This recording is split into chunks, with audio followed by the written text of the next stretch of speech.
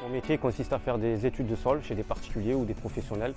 Donc moi particulièrement, je fais des euh, prélèvements, des carottages, de la pressiométrie pour des lefrans, euh, des études d'imperméabilité, voilà.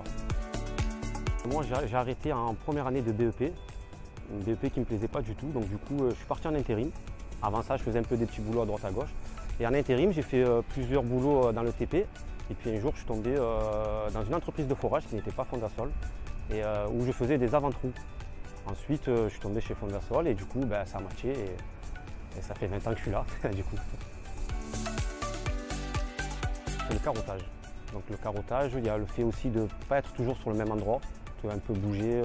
ouais, le partage, fait, être avec un collègue, rigoler, c'est un tout. C'est un tout.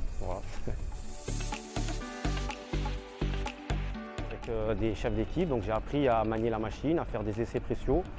Et du coup, je suis passé de chef d'équipe confirmé à aujourd'hui maître sondeur.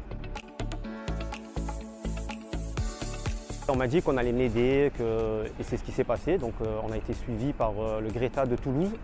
Donc tous les mois, on avait des rendez-vous visio. Et au final, je suis passé devant un jury et, je l'ai vu.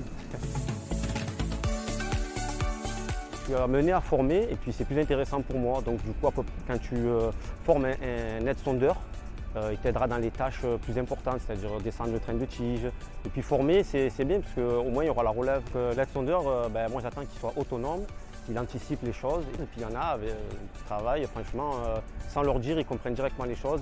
Ils ne sont pas frileux à toucher les manettes, donc on peut plus les apprendre, plus les former.